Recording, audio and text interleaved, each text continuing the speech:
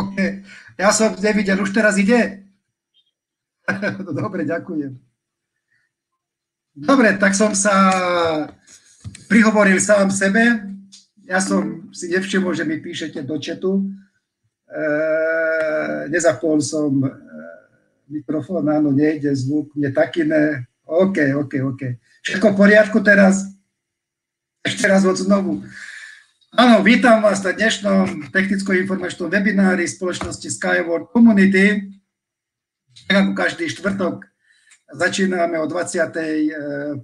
hodine. Prepašte mi ešte ten, ten, ten, tú technickú závadu na začiatku. Ja som hovoril, že v poslednej dobe prebieha dosť veľa meetingov. Na zajtra je tiež pripravená taká prvá konferencia pre našich partnerov, klientov v Indii 12.30 budeme mať e, s nimi také prvé stretnutie e, členovia vedenia s našimi partnermi z Indie. Bude to v ruštine, ja sa tiež musím pripraviť, lebo odpovedám na niektoré otázky, ktoré nám zadali naši klienti, partneri. Bude to tlmočené do hinduištiny, do, do hindi, hinduištiny alebo hindi. No, skrátka na ten jazyk, ktorý tam v Indii, s ktorým eh, v Indii hovoria. Ja som mal dnes meeting eh, s tou prípravnou skupinou top expertov, kde sme odsúhlasili, prešli sme eh, celú prezentáciu, ktorú som pripravil na útorok, koľko útorok o 13. hodine mám meeting s top expertami a s expertami. E, zajtra ešte máme meeting aj so zamestnancami kancelárie v, Moskve. Viete, že skoro pol roka tí ľudia majú home office, pracujú z domu, čiže je potrebné aj s nimi trošičku sa zaoberať. No ale poďme k tej dnešnej téme. E, ja sa pokúsim e, zdieľať moju obrazovku. Pevne verím, že sa mi to podarí. okno aplikácie zdieľať. Pevne verím, že vidíte obrazovku. Ja by som to dal takto teraz od začiatku. Dáme si nejaký laser. Tak. Dovolte, aby som sa na úvod predstavil. Moje meno je František Solár. Som absolventom Slovenskej technickej univerzity v Bratislave od decembra rok 2015 investor z projektu Skyway, od júna 2017 na pozícii top expert a člen vedenia spoločnosti Sky World eh, Community. Ja som už túto eh, prezentáciu robil niekedy, myslím, koncom januára teraz sa ju pokúsim rozšíriť e, s takými trošku inými informáciami, ale v, nakoľko spoločnosť Unique Stream Technologies sa nachádza vo fáze prípravy na IPO, viete, že máme e, nejaké, nejaké poradné spoločnosti, ktoré radia spoločnosti v tomto E, prípravnom procese a ten proces prebieha už približne sú skoro rok, by som povedal nejak 8 mesiacov od e, augusta, od septembra minulého, minulého roka. E, tieto spoločnosti, oni usmerňujú proste spoločnosť Unique Stream Technologies a príslušné spoločnosti Eurasia Rail Skyway System Holdings, ktoré samozrejme, e, ktorých sa bude týkať e, IPO Initial Public Offering. E, a je práve dôležité za každým zdôrazňovať nariadenie o imidži, predpisy, ktoré sa týkajú imidžu. Pevne verím, že väčšina z vás veľmi dobre ovláda a Viete, že sa nachádzajú v osobnom kabinete v sekcii nástroje partnera. E, tam v tom, v tom nariadení je písané, že my nepredávame podiely ani akcie, priťahujeme, získavame investície prostredníctvom konvertibilnej pôžičky, prostredníctvom konvertibilnej zmluvy. No a je potrebné si naozaj veľmi vziať srdcu aké informácie dáme do obehu na verejnosť, nakoľko práve šírenie takých nesprávnych informácií niektorými našimi partnermi ovplyvnilo aj na konci minulého roka problémy s platobnými systémami. Ja som už útorok hovoril, že je možné platiť cez Coolpay, ja som to vyskúšal, aj včera som posielal nejaké peniaze na môj účet 5 sekúnd a peniaze sú pripísané, takže využívajte túto možnosť, pokiaľ, eh, pokiaľ eh, je to bez technických problémov. Ja pevne verím, že to tak aj ostane. A možno, že v nejakej blízkej budúcnosti budú ešte iné možnosti, ale v každom prípade teraz ten táto možnosť je, tak to využívajte. Hovorili sme už aj o tom, že e, aby som trošičku teraz ohľadne tej značky spoločnosti a tých vzťahov, ktoré sú, zdôraznil jednu vec, že na e, prilákanie investícií e, pracujú pre na základe zmluvného vzťahu e, pre Unique Stream Technologies alebo pre Global Transport Investment, jedno ako si to zoberieme, dva fondy. Je to fond RSV a je to fond náš SVC, čiže Skyward Community, ktoré sú absolútne rovnocenné. Čiže tu e, RSV nie je žiadnou materskou spoločnosťou a žiaden z fondov nemá nejaké zvláštne e, privilégia porovnaní s tým, s tým druhým e, fondom. Každý človek si môže zvoliť sám, s ktorým fondom chce e, spolupracovať. To, čo máme odlišné, je marketing, partnerský e, program, čiže tam je tiež možnosť potenciálneho klienta sa rozhodnúť aj na základe toho, že si pozrie alebo sa dostane k tomu partnerskému programu, či už spoločnosti RSV alebo našej spoločnosti. A podľa toho sa vie rozhodnúť, s ktorou spoločnosťou začne e, spolupracovať. E, je pravda, že v tom procese, určite ste si všimli, ak ste videli fotografiu nových kancelárskych priestorov, e, že tam je už napísané na vrchu tej budovy Unity String Technologies, ENC, a nová značka, také pretiahnuté účko, že? A to je taký seriózny e, marketingový prebal, by som povedal, vzniknutej obchodnej značky na medzinárodnej e, úrovni, aby táto značka dokázala konkurovať známym technológiám, ako napríklad Tesla, Hyperloop. A všetci tí, ktorí úzko spolupracujeme e, s holdingom, si že má zmysel sa nad tým zamýšľať len vtedy, keď je produkt úplne v poriadku. Prečo sa toto, tento rebuilding holdingu, lebo je to doslova do písmena rebuilding. Vieme, že tá spoločnosť, ktorá je registrovaná v Bielorusku, odvádza dane do Bieloruska, ktorá platí ľudí, ktorí sú zamestnaní v kanceláriách, ktorí sú zamestnaní vo výrobnom závode. To, je, to bola spoločnosť za ostrunné technológie, odvádza dane, sociálne zabezpečenie pre ľudí, zdravotnú poistku, všetko odvádza v Bielorusku. Teraz je to Unický String Technologies. INC. A tá značka je také preťahnuté U. Robí sa to práve v tejto dobe, preto lebo produkt je úplne v poriadku.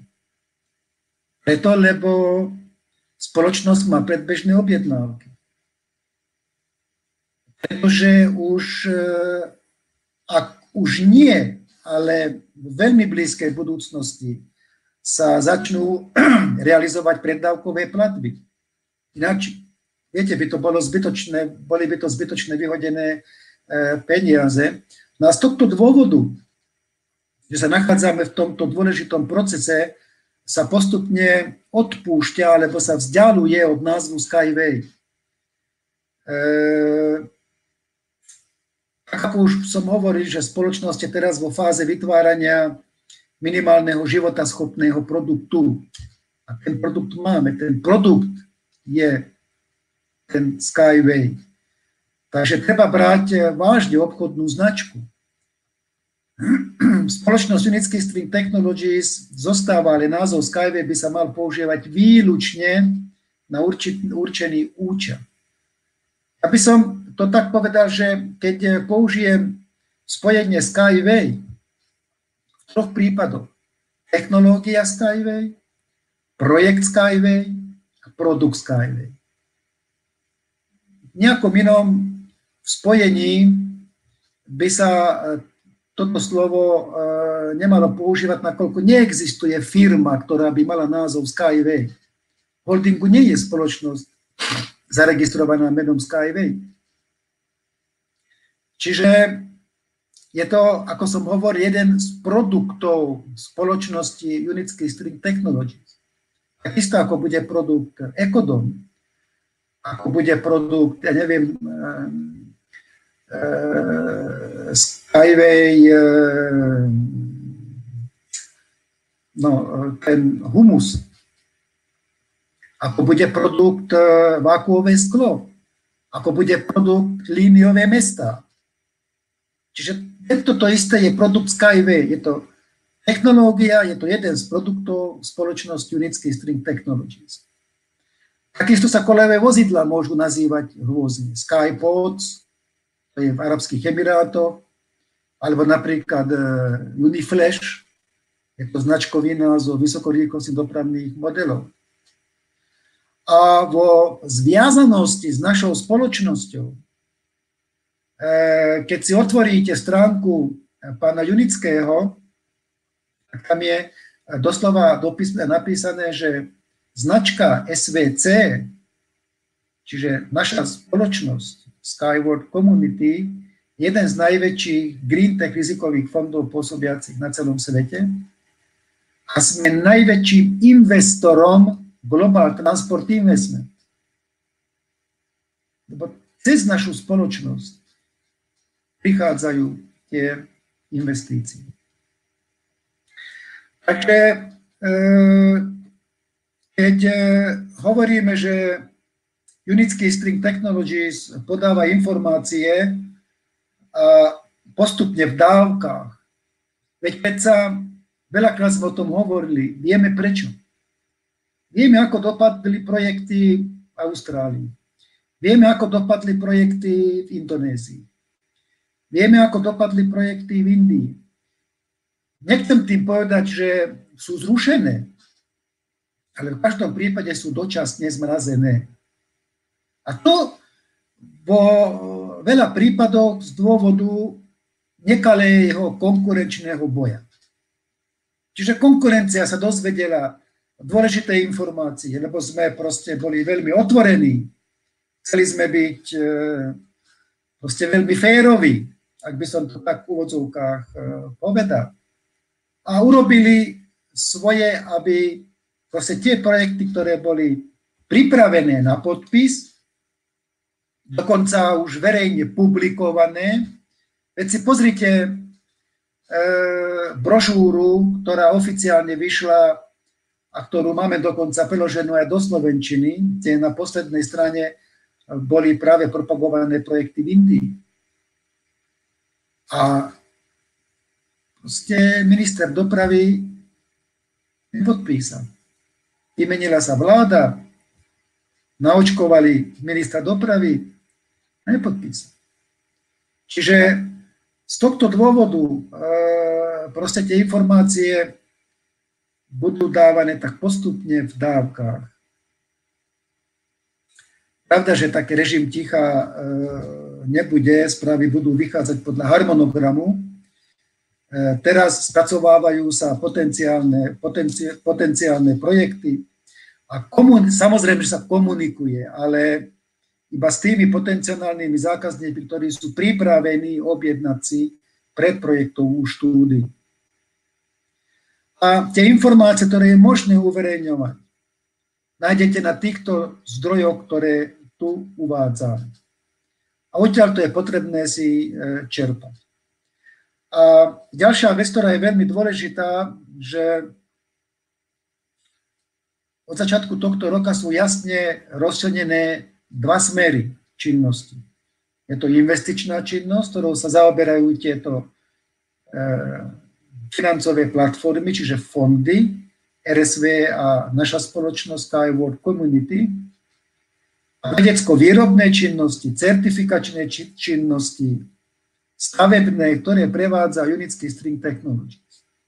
Ono akoby, no samozrejme, že sú tieto činnosti Eh, jeden bez druhého nemôže existovať, ale je to oddelené. Aby sa zdôrazňovalo, že proste Unický String Technologies absolútne sa nezaoberá nejakým sieťovým marketingom alebo nepodaje, že multilevelom alebo takýmito spôsobmi. Je to proste požiadavka eh, od tých eh, poradných spoločností, ktoré tento proces prípravy na IPO riadia. O tej knihe už nebudem hovoriť, každý z vás si to vie nájsť, vie si, vie si túto knihu zadovážiť. Skôr by som chcel sa vrátiť k tej, tej téme ohľadne, ohľadne eh, tých eh, predprojektových e, príprav. To sa volá ten, ten proces, že feasibility study. To je veľmi dôležitý dokument, ktorý pomáha optimalizovať a znížiť možné náklady na konkrétne infraštruktúrne a dopravné riešenia. Ja sa zúčastňujem niekoľkých eh, takýchto procesov, kde sa pripravujú eh, tieto predprojektové štúdie. Hovorili sme o tom viackrát. Eh, a vieme dobre, že už aj z tohto, hlavne z tohto projektu, z tejto predprojektovej štúdie, tejto feasibility study, na prvý moment vidieť, že technológia Jurický String Technologies naozaj môže stať niekoľkonásobne menej v porovnaní e, s tradičnými e, aj s tradičnými dopravnými systémami. A vieme veľmi dobre, že napríklad vysokorýchlostná doprava vo svete nie je veľmi rozvinutá. Mohli ste prečítať článok, v ktorom som tiež mal webinár možno týždeň dozadu alebo dva týždne, kde generálna rejiteľka Global Transport Investment, pani Nadežda Koserová, e, popisovala a porovnávala e, rôzne parametre tých klasických dopravných systémov dopravného systému Unický Stream Technologies. A bola tam zmienka aj o vysokorýchlostnej doprave, tam bol spomenutý Shinkansen, tam v Japonsku, tam bol spomenutý železničný systém v Rusku, ktorý tiež jazdí nejako 400 km rýchlosťou za hodinu. E, francúzske železničné systémy tam boli e, spomenuté a bolo tam porovnanie cien. Samozrejme magneticko levitujúci dopravný systém, z ktorého sa postaví vedený projekt v Šankaji. Tie rozdiely sú markantné. Vlastne tam sú nielen investičné e, čiastky, ale proste aj údržba, aj prevádzkové náklady. Tam sa pohybujú na TGV vo Francúzsku 100 tisíc eur na jeden kilometr ročne. Len prevádzkové náklady. A výstavba kilometra tam sú také sumy, že 50 miliónov e, dolárov v porovnaní s výstavbou našej estakády, ktorá začína v 1,5 milión.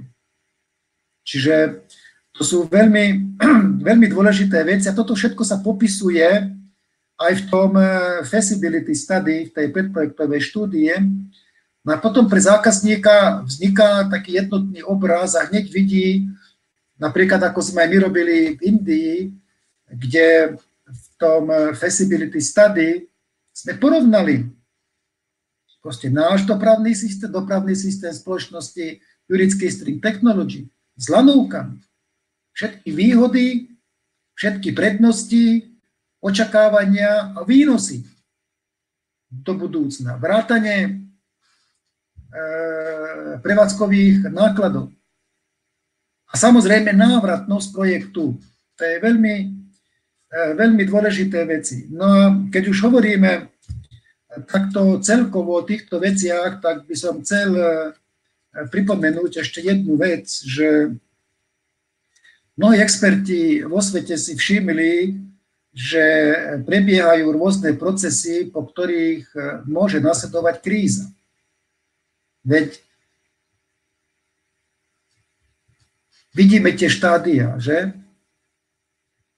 A pamätáme si tú krízu, aká bola po búme spoločnosti .com, že to bolo niekedy v 90 rokoch. Nafúkujú sa bubliny eh, v podobe nových schém, podobe nových eh, startupov, podobe nových spoločností. Tisíce ich vzniká každý rok. A toto práve tým odborníkom a mnohým investorom a finančníkom práve pripomína tie časy, ten boom spoločnosti .com.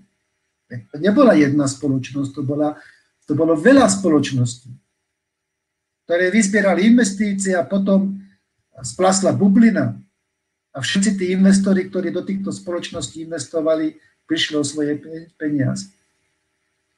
Preto je potrebné si uvedomiť, že trh IPO Initial Public Offering je zaujímavý pre drobných a stredných investorov. Ale ako drobný investor sa tam osobne nedostane. Že? Čiže preto je potrebné si zvážiť, do akého systému, do akého projektu investuje. Samozrejme, že príťažlivé sú rizikové projekty, lebo je tam e, možnosť získať o mnoho viac, hlavne pre tých prispievajúcich a pre tých investorov, ktorí sa zapoja na začiatku. Len e, je potrebné si e, uvedomiť, že toto všetko, čo sa deje vo svete, pripomína to, čo sa udialo s nehnuteľnosťami v roku 2008-2010 keď skrachovali celé banky. A tu by som sa trošičku prizastavil aj s odpoveďou, keď sú rôzne otázky a kedy sa ukončí startup, 15. etapa, kedy sa pôjde na, na burzu. Vie mi niekto povedať, aká situácia bude, ak bude nejaký ten reset, ktorý sa pripravuje? Že v akom stave budú banky? že v akom stave bude finančný sektor, v akom stave budú burzy. Nie je lepšie vyčkať, kým budú kľudné vody a potom sa rozhodnúť, áno, pre túto burzu. Osobne si myslím, že je to momentálne to, čo sa všetko deje a to, čo sa ešte bude diať, o mnoho väčšie riziko pre tie spoločnosti, ktoré sú už na burze, ako pre tie spoločnosti, ktoré ešte nie sú verejne obchodovateľné. Veď predsa tá technológia, ktorú my financujeme, umožní vytvoriť najväčšie infraštruktúrne projekty, z ktorých, e, ktoré z hľadiska kapitalizácie a ziskovosti môžu dokonca prekryť balíky ekonomických stimulov, ktoré teraz sa budú poskytovať. Čo si myslíte, keby sme percentuálne vyjadrili to, že tieto ekonomické stimuly, veď Slovensko má dostať, myslím, 7 miliárd,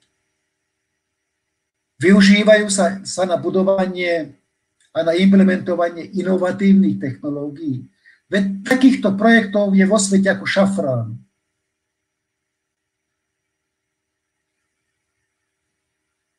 A to majú byť projekty, ktoré má naša vláda pripraviť, na ktoré sa budú používať tieto balíky tých ekonomických eh, stimulov, No a nie všetky štáty majú proste pripravené prostriedky na rozvoj veľkých dopravných sietí.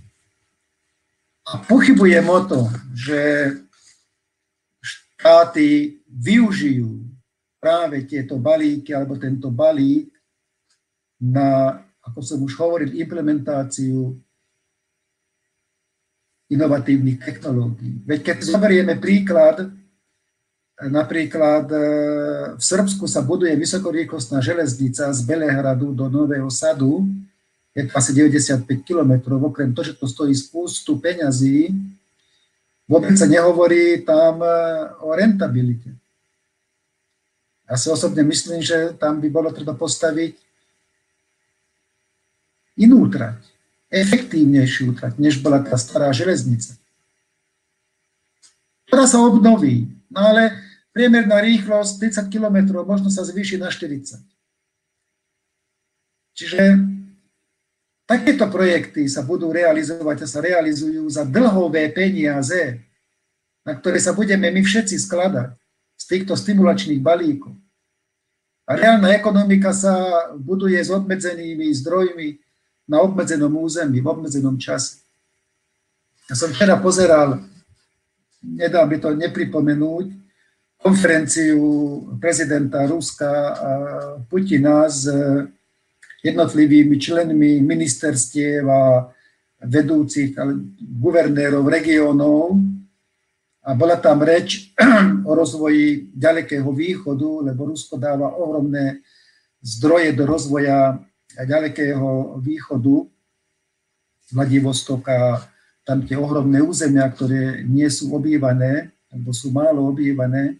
A najväčším problémom je infraštruktúra, doprava.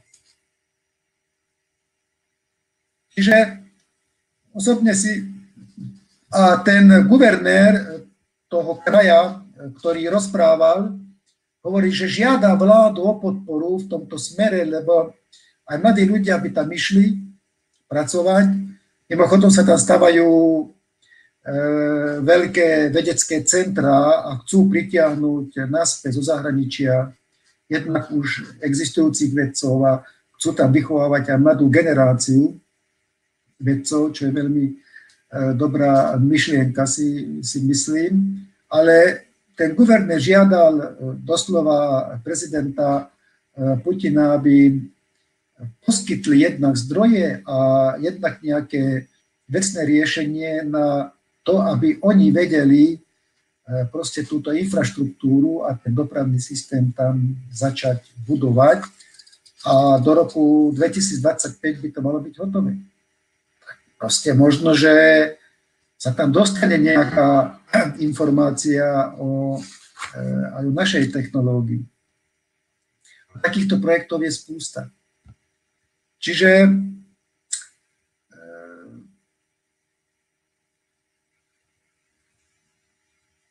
existujú spôsoby stimulácie hospodárstva. Ako napríklad no, masová výroba elektromobilov, no ale alebo na vynakladanie peňazí na eh, boj s klimatickými zmenami.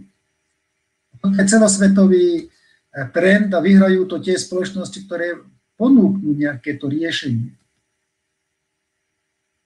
Aj my máme riešenia, my máme tiež elektromobily na druhej úrovni. A najväčšiu, najväčšiu perspektívu, ako som už hovoril, e, bude mať zo všetkých, postupne, zo všetkých e, dopravných systémov, myslím osobná nákladná práve vysokorýchlostná doprava. A my sme spoluvlastníkmi tej technológie. Nie je nikde vo svete implementovaná efektívna vysokorýchlostná doprava. A tieto projekty v budúcnosti sa priamo budú e, financovať e, z rôznych e, dotácií. na perspektíve investovania do technológie spoločnosti Stream Technologies, no spoločnosť môže dostať, môže dosiahnuť a bude dosahovať zisk, čas, ktorý jeho bude smerovať na výplatu dividend. Viete, ono veľakrát je potrebné si uvedomiť aj tú závažnú záležitosť, že je rozdiel, keď spolupracujem s nejakou spoločnosťou a predávam jej služby alebo jej výrobky. To sú tisíce a tisíce takýchto, tisíce spolupracovníkov. A samozrejme, že tá firma ma odmení za to, že odpredám tú službu, že odpredám ten produkt, odpredám ten výrobok a môžem z toho slušne žiť. To je pravda. Ale nie som spolumajiteľ. A tu tým, že dám spoločnosti pôžičku cez konvertibilný, cez konvertibilnú zmluvu, kde sú popísané všetky moje práva a povinnosti. A potom sa môžem rozhodnúť, či budem investorom, alebo len požičiam tie peniaze spoločnosti. A keď sa rozhodnem, že chcem byť investorom, tak e, moje podiely budú zapísané v registri pod mojim menom, pod mojou adresou. A tým pádom sa stávam spolupodielníkom technológií. To je veľmi dôležitý rozdiel. Čiže tomto je potrebné, aby sme byli, aby sme, aby sme boli e, proste zajedno a vedeli, v akej spoločnosti a s jakou spoločnosťou e, spolupracujem. V decembri aj v januári proste vyšlo veľmi veľa publikácií. Všetky tieto publikácie môžete nájsť na týchto e, linkoch alebo stránkach. Všetky. Reportáže, e, spravodajcov, čo tam boli, novinári, National, Business Traveler o produkte, Smart City a tak ďalej. Všetky tieto publikácie, len prosím vás, potrebné stále uviezť zdroj. Na to nezabúdajte, či na Facebooku, či na Telegrame, či cez WhatsApp alebo cez iné médiá, mailom posielate, uvedte stále aj zdroj. Lebo všetky publikácie sú sledované oddelení marketingu a public relation našej spoločnosti, aby sa prezentovali informácie adekvátne. Neubližujme zbytočnosti, alebo nevyvolávajme zbytočnosti nejaké diskusie, lebo ako som hovoril, holding, konkrétne spoločnosť Unique Stream Technologies je vo veľmi dôležitej fáze prípravy na IPO, aby naozaj ten rebuilding, ktorý sa urobil, alebo rebranding, aby sa aby to nevyšlo na vnímoč, aby sa zbytočne neťahal čas, ešte musíme tam hasiť nejaký problém alebo tam, aby proste tá prípravná fáza prešla v poriadku. Môžeme cítiť e, v poslednej dobe, že je veľká marketingová aktivita Spojených Arabských Emirátov vďaka generálnemu raditeľovi spoločnosti Green Tech. A objavujú sa informácie naozaj v závažných, veľmi dôležitých publikáciách, kde už naši partneri propagujú technológiu Skyway, kde naši partneri propagujú to, že s nami majú tú čest spolupracovať. A to sú naozaj svetoví lídry e, v rôznych segmentoch. A je jasné, že projekt prechádza z fázy startup do fázy systémového biznisu a vychádza na úroveň korporácie. To je dôležité si uvedomiť. A v tejto fáze zvyčajne prichádzajú e, veľké investície. Veď tie informácie, ktoré verejne odzneli, že v Šarži sa začnú skúšky s testujúcimi na tom dopravnom systéme, ktorý je dlhé 400 metrov a taktiež v máji sa začnú, e, sa, sa sprevádzkuje tá 2,5 kilometrová trasa na prepravu morských kontajnerov a, na prepra- a veľkokapacitná preprava osôb, čo bude veľká prestíž spoločnosti a pripravenosť na jazdu deklarujú aj vládni predstavitelia e, v šarži. Momentálne ten Unicon sa už testuje v Marinej Gorky. Ukazoval som obrázok útorok na webinári. Čiže tie globálne trendy, nebudem eh, tu hovoriť o eh, pandémii, ale jedno je potrebné si eh, pripomenúť, že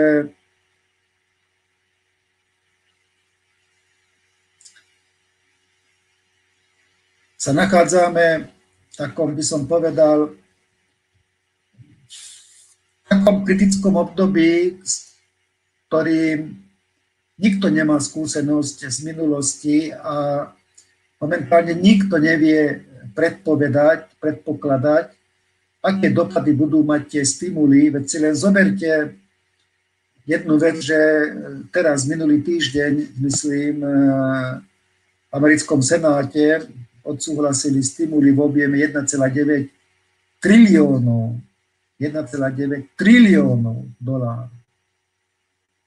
Ako, ja neviem, čo to má spoločné s trhom. A vo všeobecnosti, ako som hovoril, v začiatku tejto pandémie nezabudnem nikdy na moje slova 16. alebo 17. marca, keď som mal prvý webinár, keď som sa vrátil z Vietnamu v Lani, že tá pandémia úplne zmení svet a nič nebude tak ako predtým. E, ten globálny dlh len počas pandémie sa zvýšilo 19,5 bilióna dolárov. To je v porovnaní so všetkými globálnymi katastrofami strašne veľa. A do roku 2030 ten globálny trh sa vyšpaha na 360 biliónov. A niekto nám ide hovoriť, že to nebude mať svoje dôsledky, že to nevyvolá krízu, že to nevyvolá infláciu, že to nevyvolá zmenu bankového systému a, finanč, a finanč, celý finančný sektor. To sa mi nechce nejakým spôsobom veriť. A čo sa týka tých riešení, proste Európa nie je e, lídrom trhu vo výrobe elektromobilov. Lídrom trhu je Čína. Dokonca čínsky dodávateľia budú dodávať elektromobily do Európy. A čo to znamená? No znamená to, že sa Európa zahltí s elektromobilmi a bude viac dopravných záv. Preto je dôležité si uvedomiť, že my pracujeme a podporujeme trh nadzemnej dopravy, ktorý sa teraz vyvíja, je optimálnym a univerzálnym riešením existujúcich dopravných problémov. Tak pre každého zákazníka, ako aj pre obyčajného spotrebiteľa. Aj pre štáty. Lebo viete, tie štáty vyčerpajú tie balíky stimulačné. To už je jedno, koľko sa z nich ukradne, koľko sa nedostane tam, kde sa má, ale raz to vyčerpajú. Príde doba splácania. Čiže bude potrebné šetriť na každom kroku. A keď naozaj tie krajiny nebudú mať dostatočne mnoho projektov, také, aký projekt podporujeme my momentálne, tak to bude veľmi ťažký život. Veľmi ťažký život lebo sa pripravujú rôzne úpravy. Viete, že bol predstavený sériový elektromobil Hyundai Loning 5. No ale volant tam je. Aké autonómne vozidlo? Volant zostáva. A existuje legislatíva pre úplne autopilota? No neexistuje. Takže čo z toho vyplýva? Že áno, elektromobily sa budú vyrábať. Preplňa naše mesta ešte viac ako sú pre, preplnené. No a potom vzniká ďalší problém e, s mikroobvodmi. Že je tam problém s batériami, lítiové batérie a tak ďalej. Čiže preto je tá veľká výzva pre našu technológiu, že sa uplatňa, verím tomu, že sa uplatní, lebo všetky tieto problémy, ktoré sa postupne budú hromadiť a bude ich potreba riešiť, tento dopravný systém vie vyriešiť. Samozrejme, že je tu stále otázka pomeru medzi, e, medzi e, rizikom a ziskom. Každý deň mám nejaký rozhovor, e, volajú naši investori. Investoval som ešte v roku 2016 a kedy už budú dividendy, kedy bude posledná 15. Je to Hovorím však, choďte do kabinetu, pozrite si správy, uvidíte, aký obrovský úspech spoločnosť e, do, dosiahla v tej poslednej fáze. A ja mám aj kabinet. Sorry. Čiže je potrebné sa k týmto veciam stávať triezvo, e, logicky, odôvodňovať, e, logicky argumentovať. Veď ja stále hovorím, že spoločnosť Unický Stream Technologies nevyrába minček na kávu. Vyrába nový dopravný systém, na ktorý sa už e, chodia e, pozerať a majú dostatok informácií aj veľa dôležitých ľudí, ktorí rozhodujú o osudoch dopravných systémov v rôznych krajinách. Čo si myslíte, prečo delegácia Saudskej Arábie naštívila Centrum výskumu a vývoja Unických technológií v Šarži? Vidíte? Opäť zmena. Centrum výskumu a vývoja spoločnosti Unický String Technologies v Šarži. Nehovorím Skyway Centrum. Centrum výskumu a vývoja spoločnosti Unický String Technologies v Šarži. Na tom bol predstavený projekt NEOM a koncepcie mesta Klein. A ten šéf uviedol, že moderné mesta sa nedokážu vyrovnať s rýchlým rastom a nemožno ich predstavať na novú koncepciu. Preto by nové mesta mali vznikať bez automobilov a mali by byť postavené v harmónii s prírodou. A to sú myšlienky aj nášho projektu. Toto sú myšlienky pána Anatola Junického, hlavného konštruktéra. Jurický String Technologies. Tuto je, v tejto vete je povedané všetko, že aký osud budú mať aj tie elektromobily. Ľudia nechcú mesta preplnené s autami. A to je jedno, či sú to dízlové, benzínové, či elektromobily. Ľudia chcú mesta kde je veľa zelenie, kde nie sú autá, kde sú parky, kde je bezpečne žiť, kde sú všetky prístupné veci veľmi blízko. Ja som už hovoril, že táto delegácia zo Saudskej Arábie, keď e, navštívila e, Centrum výskumu a vývoja spoločnosti United Stream Technology v Šarži, ona už predtým celý ten projekt mala pripravený. A pozrite sa, aké kritéria a charakteristiky boli stanovené, aby sa dosiahlo ideálne riešenie tohto problému.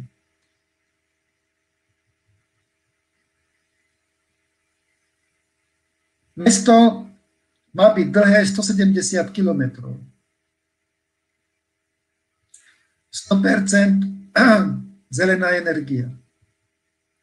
Bolo stanovené, že na prechod mestom od začiatku z bodu A do konca mesta do bodu B by sa človek mal dostať za 20 minút. 95% prírody sa má zachovať. A doprava bola naprojektovaná Podzemné metro, pozrite sa tu. Tu je, sú jednotlivé vrstvy, tuto sú stromy hore. Na zemi a pod zemou bolo naprojektované podzemné metro. A teraz tí manažeri alebo tí majiteľia tohto projektu, investori tohto projektu sa dopočuli, že existuje nejaká lepšia doprava nad zemou a prišli sa pozrieť do šarží. A hneď po návšteve vznikla na ich stránke, vidíte, toto je Spine Connect City Modules, takáto vizualizácia, kde sú časti mesta spojené s nejakou linkou. Pozrite sa. Ale toto už nevyzerá na metro od zemí. Potenciálne to môže byť predpetá strunová traťová štruktúra, po ktorej budú premávať nad zemou kolejové vozidla s rýchlosťou 150-500 km za hodinu. A zoberte si ten čas 20 minút, 170 km vzdialenosť, 500 km rýchlosť. Zvládneme to? Zvládneme. Lebo samozrejme, že boli tam aj rizika pre vybudovanie metra, ale oni si veľmi dobre uvedomili možné isté následky pre prírodu z dôvodu podzemných tratí.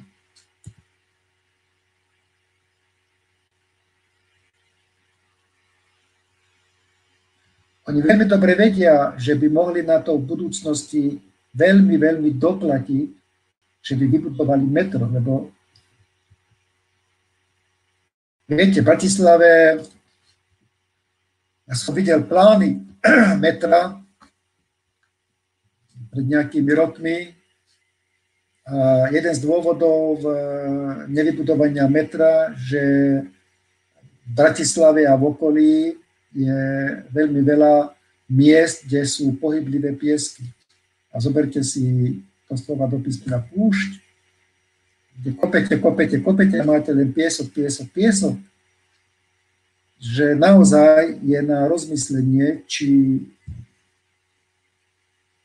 sa v tomto líneovom meste vybuduje podzemné metro alebo nadzemný E, systém spoločnosti Unity Stream Technologies. No čas ukáže. Uvidíme. Ale osobne si myslím, že nie nadarmo boli títo predstavitelia v šarži. Úlohy projektu NEOM, a to je len jedno mesto. Arabi sú trošku odlišní od Európa Nova, oni idú cieľavedome. Lebo oni, ak chcú udržať ľudí, aby zostali v týchto mestách, aby neodchádzali, aby sa nestiahovali. Lebo ako tí, ktorí ste boli s nami v Dubaji, ja som asi trikrát bol v Dubaji, no ako ešte maximálne mesiac by som tam e, vydržal, aj to niekde len pri mori, ale ako žiť tam, čiže pre tých ľudí musí byť veľmi veľký stimul. A to, robia, to robí každý arabský štát. Oni sa budú rozvíjať, oni budú ponúkať ľuďom to najlepšie z najlepšieho. A si povedali, že fungovať má tento projekt pomocou obnoviteľných zdrojov energie. Že v rámci projektu NEOM vytvoria lineárne mesto, nielen jedno. Lebo práve teraz je ten čas, správny čas na vytvorenie nových miest. Samozrejme, že Nebudem ani nechceme ešte hovoriť o konkrétnostiach, ale veľmi vážne sa zvažujú tieto projekty aj v rámci Stream Technology spoločnosti. Čas ukáže. Ďalším takým svetlým momentom bolo účasť Unity Stream Technologies na podujatí MENA Innovation Technology Transfer Summit, kde pani Svetlana Vološina zástupkyňa generálneho rejiteľa pre rozvoj podnikania hovoril o koncepcii inteligentného lineárneho mesta. Hovorím tu o ďalšom projekte. Keď sa budú stavať lineárne, mes, lineárne trate, tak sa budú popri nich stavať aj lineárne mesta. Taký istý projekt ako Skyway. Taký istý projekt v rámci projektu Lineárne mesta ďalší projekt Ekodom. A v rámci tohto projektu vákuové sklo. Vidíte to pucle? A v rámci tohto všetkého Skyway Agro, humus, zeleň. Veď kde by nabrali na púšti zeleň, ak nie pomocou projektu Skyway Agro. Už som povedal asi 4 alebo 5 projektov, ktoré nás čakajú a ešte som nehovoril o najväčšom projekte, ktoré sa ktorý sa kedykoľvek robil vo svete, to je Spaceway.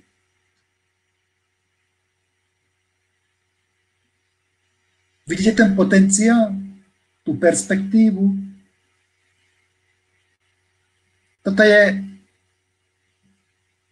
projekt na kompletné riešenie pre mesto s jednotnou dopravou, sociálnou a komunikačnou infraštruktúrou.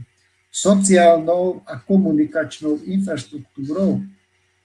Veď my cez naše dopravné systémy, naše pohľadnicové estakády, môžeme dodávať elektrickú energiu, môžeme dodávať plyn do mesta, môžeme dodávať vodu do mesta, a komunikáciu. My môžeme plne nahradiť eh, prevádzkovateľov telefónov. Bude potrebné satelity na, telefón, na, na komunikáciu cez, cez mobily.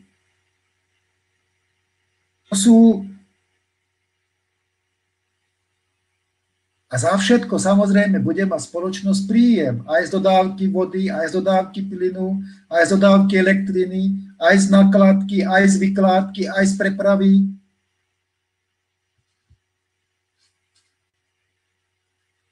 Samozrejme, že tá, táto startupová fáza, keď všetko je potrebné pripraviť, trvá trošku dlhšie, ešte aj ten COVID do toho prišiel, ale ideme aj keď možno nie takými reskými krokmi, ako bolo naplánované, ale ideme dopredu. Ešte raz hovorím, nevyrábame mlinček na kávu. Preto musíme byť opatrní. Lebo keď sa začne s implementáciou, predstavte si ten boom, že aký to bude mať vplyv na letecký priemysel, na železničnú dopravu, na kamionovú dopravu, na osobnú dopravu. Pamätáte sa, keď e, sa konala výstava Inotrans v Berlíne druhýkrát v roku 2018? Trošku sme sa čudovali vtedy, lebo prišli do nášho stánku šéfovia viacerých renomovaných dopravných firiem a chceli s Unickým rokovať o spolupráci. Oni odmietli. To čudovali. Prečo však, ako boli by sme to rýchlejšie a spolupráca s takým Siemensom, alebo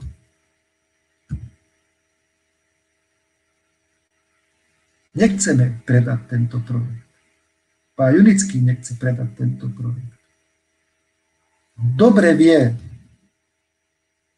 čo z tohto projektu vznikne vo svete, aké zmeny to prinesie.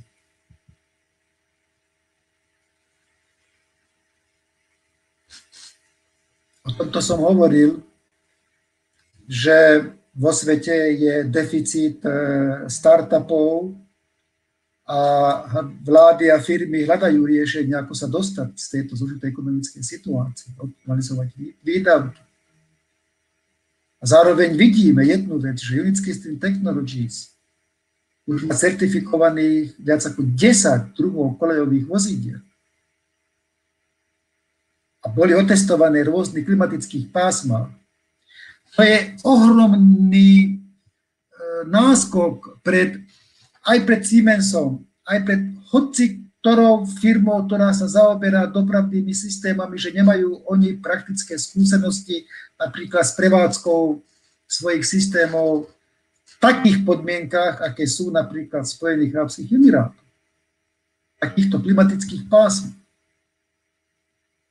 A naše dopravné systémy boli aj v tuneli testované, boli pri mrazok testované, teraz sú testované pri extrémnych teplotách, pri extrémnych výkyvoch teplu. Existujú inžinierské riešenia na vytvorenie akýchkoľvek tratí. A verte mi, že naozaj všetko je pripravené na spustenie viacerých adresných projektov. Čaká sa na hodný čas a ten čas veľmi skoro príde.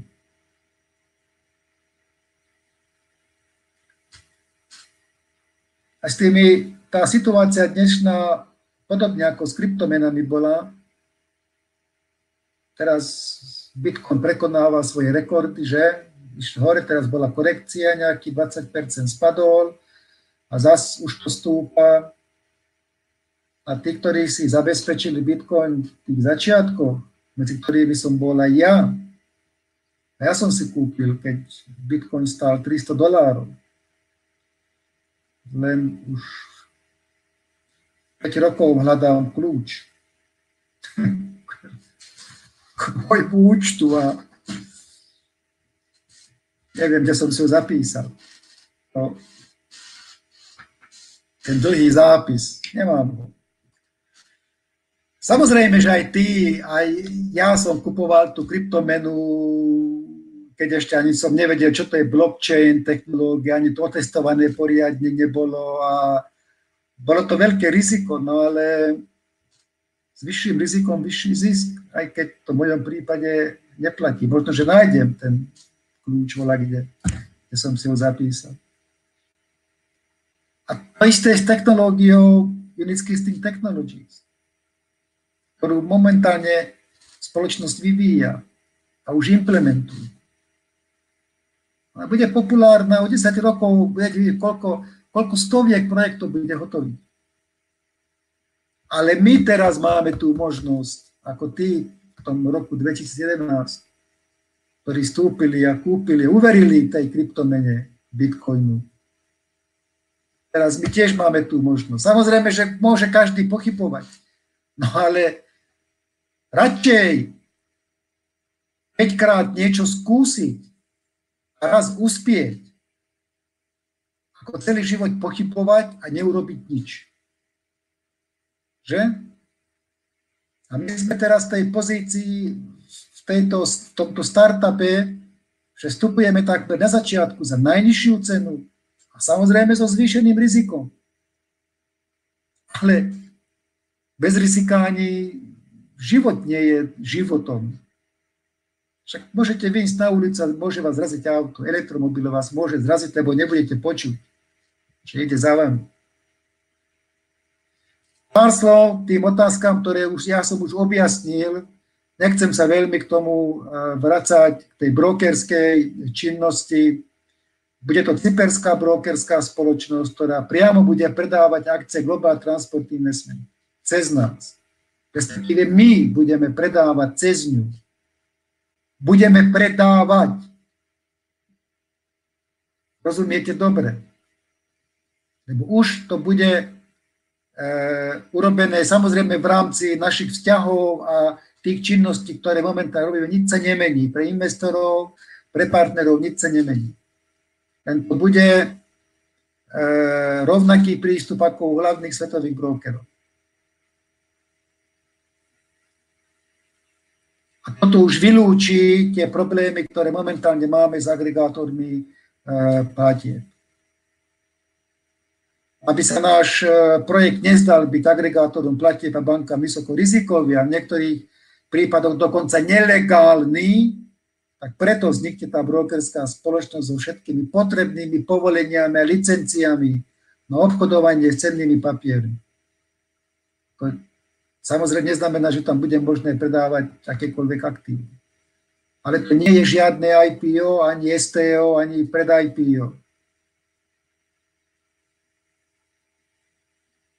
Všetko sa bude robiť tak, aj tie akcie sa budú predávať v súlade s konvertibilnou požičkou, tak ako sa robilo doteraz. Cesto sa bude. Nič sa nemení. Len už konečne tie finančné úrady nebudú môcť e, nás kritizovať, e, že robíme nejakú nelegálnu činnosť. Čiže táto brokerská spoločnosť e, bude vlastniť časť aktív, časť podielov Global Transport Investment a predaj potenciálnym investorom bude prebiehať v podobe akcií tejto samotnej brokerskej spoločnosti.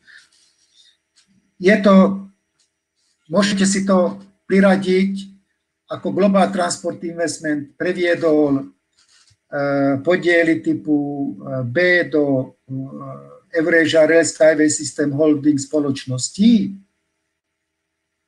A cez tie spoločnosti my máme možnosť cez konvertibilnú zmluvu prístup k týmto podielom. To isté bude urobené s touto brokerskou spoločnosťou.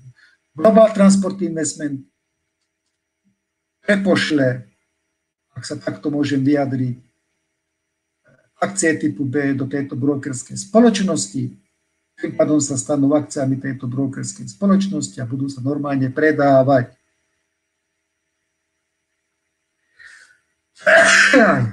Ďakujem. Čiže keď vznikne táto brokerská spoločnosť, všetky problémy sa vyriešia, žiadny regulačný orgán nebude mať pochybnosti o našej činnosti, čo je veľmi dôležité a veľmi, ja tu už tiež e, čakám naozaj. A ďalší produkt, ktorý sa pripravuje, to je kryptomenový platobný systém. Nesmieme si ho zamieňať s tokenmi alebo s rôznymi burzami. Toto je špeciálne navrhnutá služba, ktorú už za, za nejaký čas začneme testovať, ktorú spoločnosť Skyward Community bude používať na optimalizáciu nákladov a minimalizáciu provízií za službu. Ak sa teraz pozriete, CoolPay platí sa 2,95%, že? A tu cez tieto kryptomenové platobné systémy možno bude 0,2, 0,3%. 0,5%. A samozrejme k tomuto produktu budeme môcť pripojiť aj obchodníkov a predajcov, napríklad kamenné obchody, internetové obchody, čo bude veľmi zaujímavé pre týchto majiteľov týchto obchodov. Bude to veľmi populárne. S tokenmi určite nájdeme e, nejaký e, spôsob, ako s SVG tokenmi ďalej. E, my sme o tom už jednali, len teraz čakáme ešte jednanie s pánom Junickým ešte sa nám nepodarilo dohodnúť stretnutie, čakáme na odpoveď, ale je dôležité rozlišovať medzi security a utility tokenmi. Určite ste sa stretli s veľa príkladmi aj bezohľadných kryptostartupov, že aj keď vytvorili ehm, bielu knihu, ten white paper, priviedli na burzu, vyzbrali investície, ale produkt, ktorý sa popisoval v tej bielej knihe, nevznikol. Niekto na tom samozrejme e, zarobil, ale potom sa firma zrušila, všetko, ten, celý ten systém spadol. No a samozrejme, my máme inú cestu rozvoja. A to ten utility zarobí. Keď budú vznikať a spustia sa prvé reálne adresné e, projekty, lebo Viete, že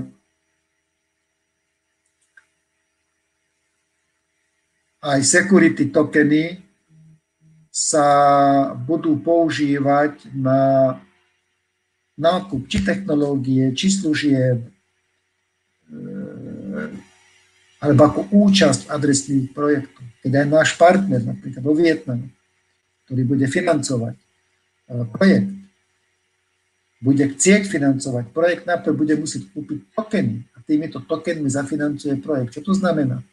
Pokiaľ bude za každým nákup tokenov, tak ich hodnota pôjde hore.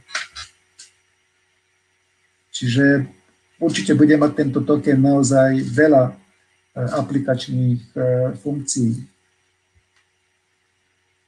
Ako som už hovoril, ak to bude právne možné, nájdeme spôsob, určite